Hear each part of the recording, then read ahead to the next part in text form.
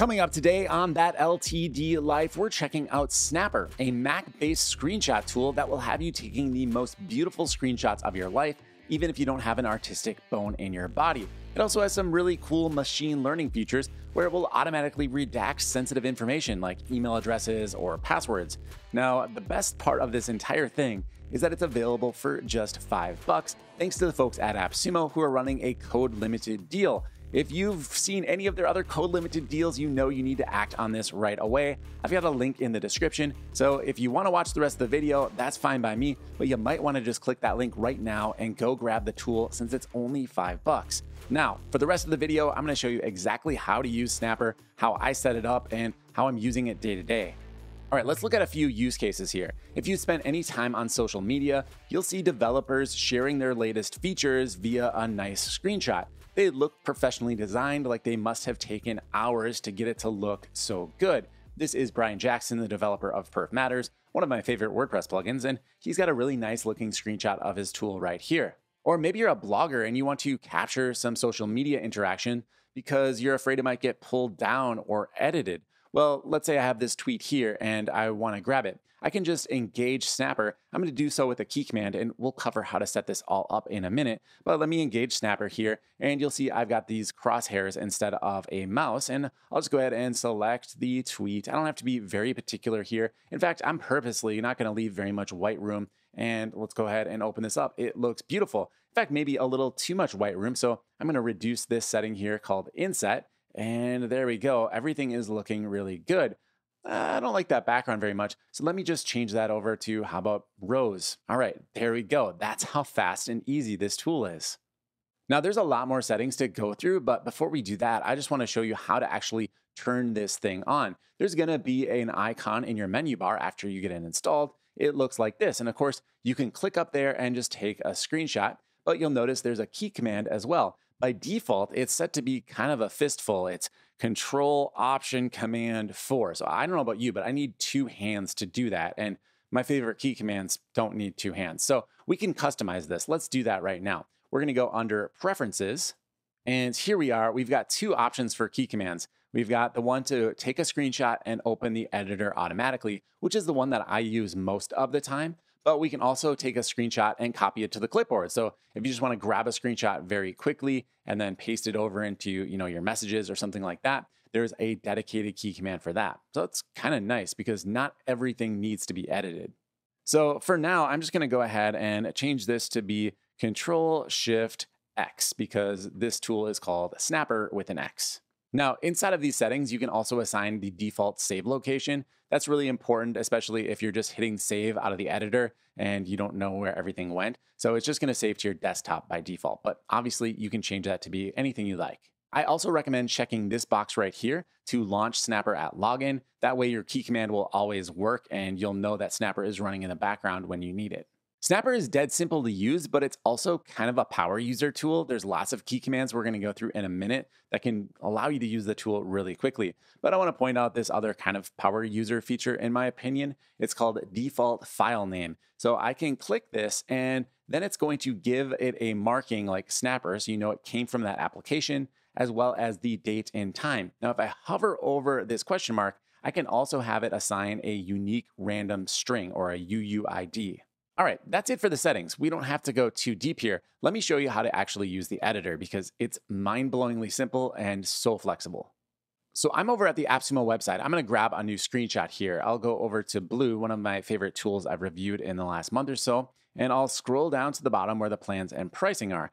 I might want to just, you know, take a screenshot of this. So I'm going to engage Control Shift X. Remember, that's the key command that I set up. If you've still got the default, it would be kind of that control option command four thing. All right, so I've got this set up. I've got my crosshairs here and I can grab all of the plans and pricing here. Now again, I'm gonna make this just like really lopsided. And there we go. I've got it open inside of Xnapper. Now, the first thing that I see is I've got a lot of space on the top and bottom. I'm planning to share this over on Facebook. So what I'll do is just choose Facebook from the ratio sizes list. And then I've got a few options. I can do a timeline image, a highlighted image. Basically, these are just presets for different aspect ratios. I'm gonna choose timeline image, And right away, it looks a lot better, but it's still pretty wonky. There's a lot of extra space over here. Now, I could utilize that space by annotating the image or adding some text, but I don't really want to do that. So I'm going to go ahead and just have this automatically balanced by checking this box. And boom, my image looks so much better already. Now, because the tool is called Blue, I'm going to change the background. There's a lot of different options here. Here's what cool looks like. I think that's a pretty good fit. But I can click right down here where it says more, and there's even more to choose from, including plain colors if you're not a fan of the fancy backgrounds. I could just make it black if I want to. Or heck, maybe even no background. That way it's just going to be transparent. I think that looks really good too. For now, I'm going to settle on sky right here. And let's go ahead and modify this a little bit further. I can control the padding, which will increase the amount of background that I have. Now it's still gonna stick to the aspect ratio, so you can see it's adding it in equal amounts on the top and bottom. I'm getting too far out now, so I'll have to zoom out to see it all. That's a lot of padding. I don't recommend using quite so much, but I just wanna show you, you can really make this image pretty big if you want. It's nice, no matter where I end up, my image always looks really good. And remember, inset was the area right around the image right here. So I can increase this even if I didn't do a very good job of taking the screenshot with enough white space around it. We've got options to unround the corners or make them super round. Somewhere in the middle is probably best. And then I can either crank up the shadows or turn them all the way off to make it much more flat looking. There's this option right here to redact sensitive information. We're going to get to that in a moment, but for now, I'm going to skip over to where it says show watermark text. I'm gonna click on this and I can just add a watermark right to my image. So I'll say screenshot by clientamp.com. Then if I zoom in, there you can see it says screenshot by clientamp.com. It's subtle, but it's definitely there. All right, now when I have everything just the way I want it, I can save this as a preset. That's great because let's say you're regularly putting out those screenshot images and you want to always have things be consistent, not constantly tweaking the little sliders to get them how they are. You can just go up to the preset option right here and create a new preset. I'll hit save and give it a name. I'll call it AppSumo pricing table and hit done. Now I'm zooming in and out as I use the editor with key commands because it's just intuitive to me. I've been using a computer long enough that I know that I can press command plus or command minus to do that. But there's a controller right here as well to zoom in or zoom out or even just have it fit the screen. There's all of these other options down at the bottom as well. And like I mentioned a little bit ago, I love the power user centricity of everything, if that is a word. So I can drag things. So if I want to maybe share this, I can just drag it right here. And now I can put it into another application. Like if I wanted to share this image on Facebook, it's so easy. I can just grab the drag me little six dots, drop it inside of my post, and there I'm good to go. As soon as I drag it someplace else, the editor also closes. Now, you might not have been done with it. Maybe you wanted to share it on Facebook, but then you still wanted access to it to reformat it for something like Twitter. Well, you just go up to the menu bar here and you can reopen the closed screenshot, or you can press Shift Command Z to get it back. All right, so here we go. It is now back. I can easily format it for Twitter. Let's say I was making a profile header. Well, boom, there I go. Now, it would be weird to put this as your profile header, but you know, you do you. All right, next let's talk about annotation. That's marking up a screenshot that you've already taken. Now, of course, you can do this with taking a screenshot and it shows up in the editor, but I wanna give you another use case. What if you are trying to give feedback on an image someone sent to you? Like in my case, I have a graphic designer that helps me with thumbnails, and maybe I wanna give them some feedback on a thumbnail. In Xnapper, I can just choose open from file, or if it's on my clipboard, I can open it from the clipboard. I don't have to take the screenshot with Xnapper. This time I'm gonna choose open from file, and here is the thumbnail I wanna provide some feedback on. I'll open it up, and notice that it automatically applied to the previous template I had set up. I'm gonna go ahead and just go to the default preset here, and I really want none of the other features here, so I'll just choose no background and turn off the inset. All right, that's close, but I also need to turn off the rounded corners. Okay, looking good. We'll turn off the watermark too. Now I could save this as a template for sure, so that if I'm doing feedback, I don't have to go through and change all those sliders each time. I'll just call this preset no style.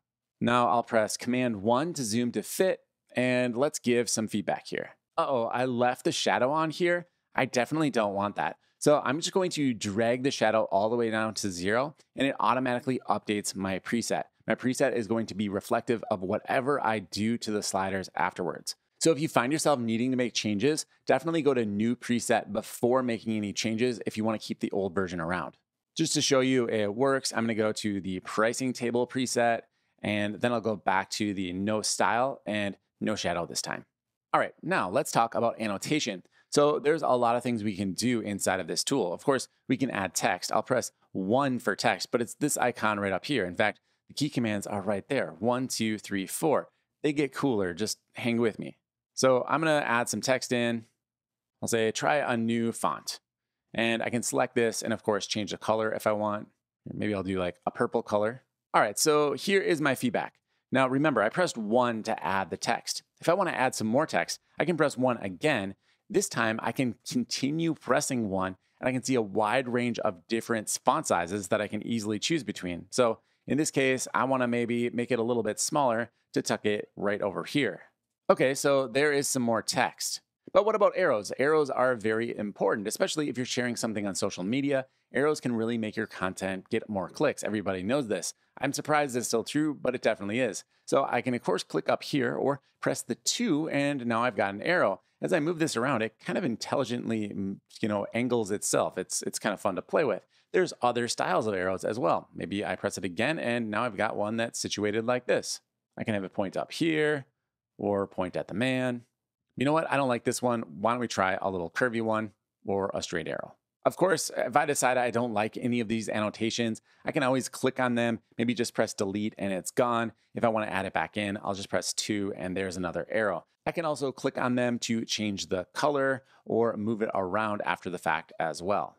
Now, the number three is the redaction tool, but there's also automatic redaction. So I'm going to save this for just a little bit later on. And we're going to skip over to number four over here, which is our shapes. We can add all sorts of shapes. Let's say I wanted to put a box around this, or maybe I wanted to do a rounded box around that, change the color. Of course, you also have circles or ovals by extension. We can make it a perfect circle by holding down the shift key. And then there's just straight lines as well. So we can add a line if we want to maybe divide something up.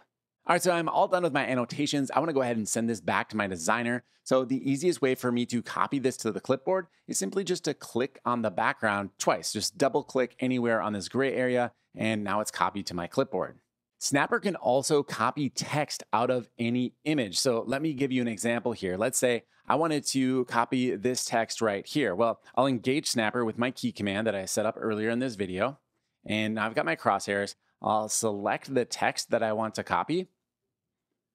And it opens up in the editor, of course, but I can also go up to the menu here and go to detected text. And every screenshot you take, it's just going to detect the text and I can click, here it is, budget online course platform. I click that and now it's on my clipboard. Here, I'll prove it. I'll just paste it in. See, it works.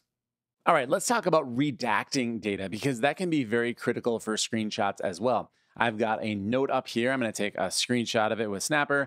And here we go. I just need that part. That looks good. Now, notice right away, it automatically redacted my email address. There is a little gear icon over here. And if I click that, you can see that I have it set up to automatically redact email addresses. Look at the original, it definitely had an email address.